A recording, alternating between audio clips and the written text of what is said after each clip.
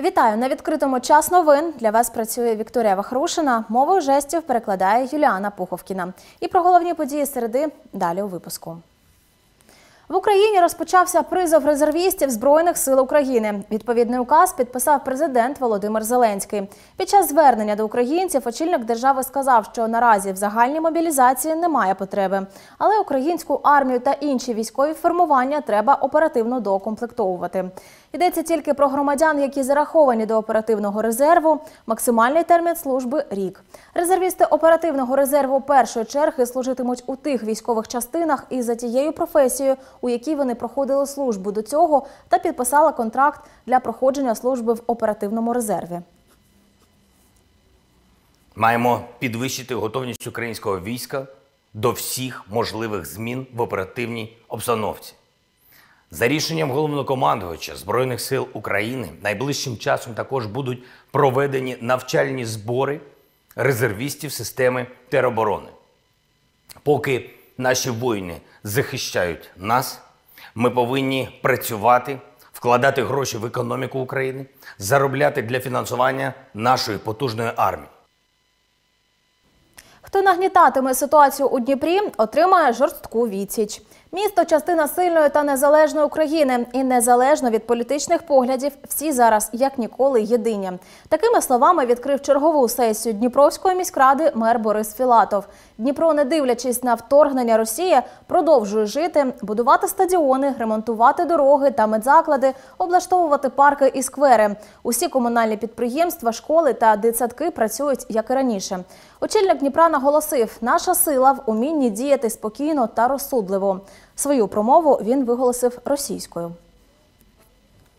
Мы не нуждаемся ни в поддержке, ни тем более в помощи соседнего государства с его больными имперскими амбициями и искривленной реальностью.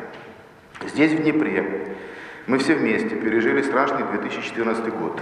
И за эти 8 лет стали только сильнее. Мы никому не отдадим то, что мы создали. Город наших надежд, город будущего наших детей, город, который, как и вся наша страна, хочет мира, но готов защищать себя и своих людей. Зберігайте спокій, але будьте готові. У ДСНС кажуть, рятувальники постійно тренуються, щоб надзвичайні ситуації не заскочили їх зненацька. Для цього підготували пам'ятку для населення. Найперше треба чітко знати, де найближче укриття, зробити запаси питної та технічної води і продуктів тривалого зберігання. Варто також скласти аптечку, потурбуватися про запас ліків, подбати про альтернативні засоби освітлення і засоби для приготування їжі на випадок відсутності газу та електрики. Крім того, тримати під рукою документи та найнеобхідніші речі. А ще ваше авто має бути справним і спальним. Стануть у приході альтернативні джерела обігріву на випадок відключення опалення.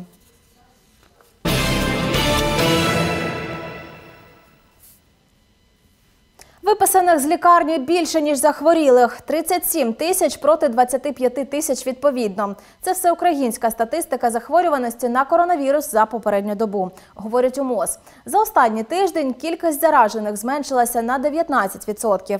Ситуація поволі стабілізується, і хоча в деяких регіонах темпи поширення недуги не уповільнюються, розширення червоної зони карантину в Україні у найближчі два тижні не очікують.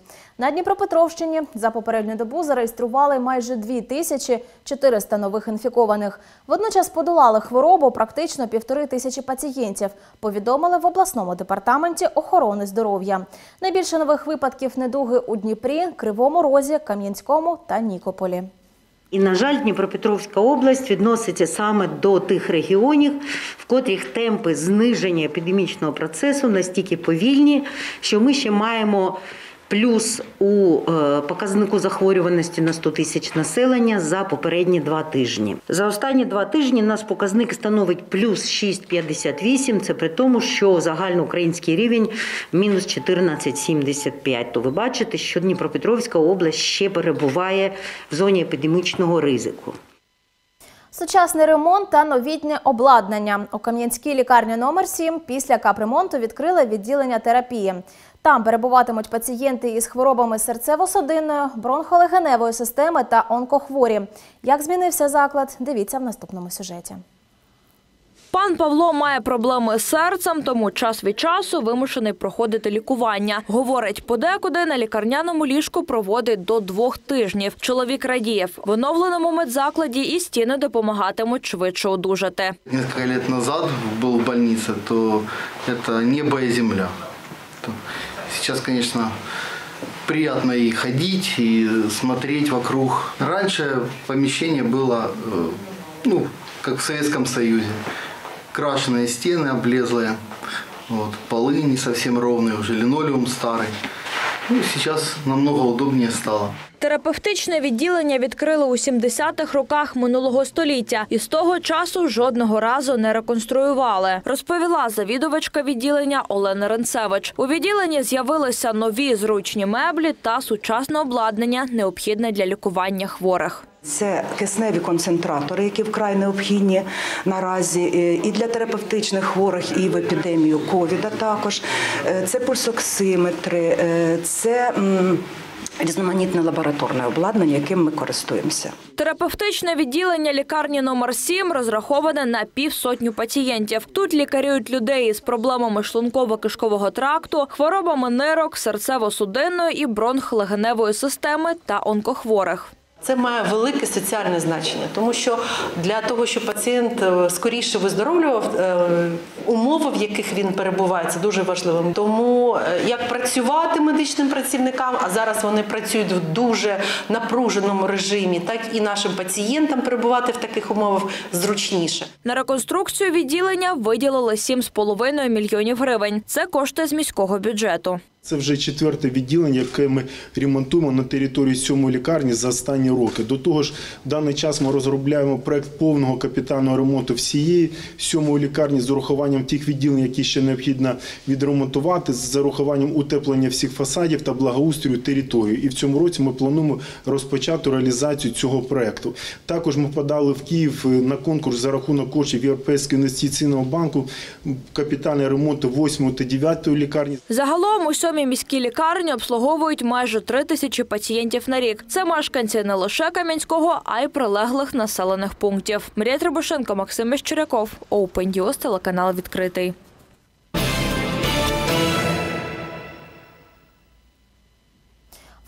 Турнір пам'яті Героїв Небесної Сотні проходить у Дніпрі вже кілька років поспіль. Традиційно до дня вшанування загиблих на Майдані 2014-го місто приймає волейболістів з різних куточків України. Про гру, що об'єднує наш наступний сюжет. Цьогоріч боротися за звання найсильніших на волейбольний турнір пам'яті Героїв Небесної Сотні приїхали 9 команд. Серед спортсменів атовці, лікарі, вчителі. В Дніпрі проходить турнір е, з волейболу е, пам'яті Героїв Небесної Сотні. Він е, проходить під підтримки депутата Дніпровської міської ради Каміля Примакова. Приїхало дуже багато команд з Запоріжжя, з Херсону, наша команда і багато команд із Дніпра. А Дуже е, значна подія у місті, е, тому що ми повинні пам'ятати про тих, е, кого вже немає поряд з нами.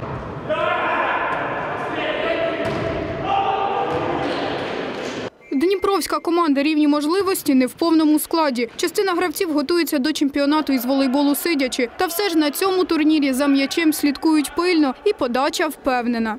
Нас об'єднує волейбол. Я військовослужбовець, а вона вчитель фізичної культури та спорту.